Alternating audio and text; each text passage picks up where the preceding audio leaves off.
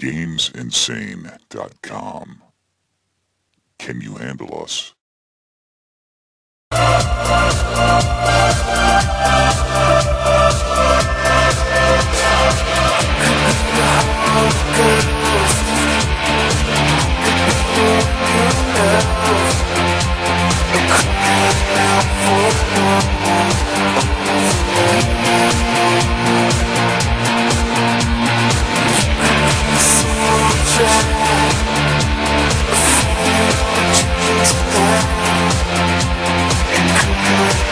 Just got to open